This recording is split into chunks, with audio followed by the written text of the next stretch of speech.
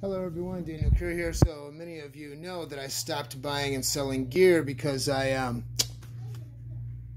I just want to be a collector. However, I have some pieces that I never uh, that I rarely use. Uh, one of them is my second Korg ESX. Um, I want to sell these pieces, so um, I have some expenses, and you'd really be helping me out. This is a Yamaha TG55. Um, it's a nice rack mount synthesizer. It has a lot of 80s and 90s um, appeal. Actually, sounds really, really good for synthwave stuff.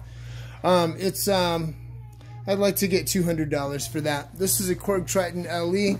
Now these can go up to seven or 900 bucks. I think the going rate's about 60. I'm going to sell this for 450 uh, plus shipping. All of these are plus shipping. The reason why is because somebody put a lit cigarette on it um, at a gig in uh, Nebraska. It's it's pretty well gigged, but it's actually in perfect work, working order. Everything works fine. Also, power supplies come with all of these. Has a little Velcro stuck here.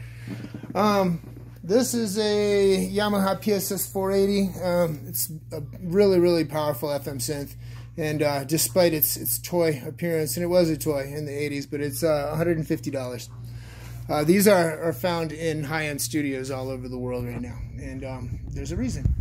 Here is a Korg ESX, my second one. This is the smart media version. I'd like to get $450 for this uh, plus shipping. So anybody, international, uh, domestic, doesn't matter. Just hit me up for a shipping uh, for a shipping uh, estimate or a shipping invoice, and I, I, will tell you how much it'll cost. My shipping prices are very reasonable. I have ways of finagling. Anybody who buys this um, will get my entire Korg ESX collection that's offered on GhostWrittenClips.com.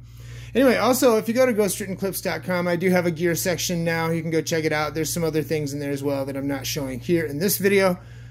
Hit me up if you're interested in any of this. Snowmetaluniversity at gmail.com. Love you guys.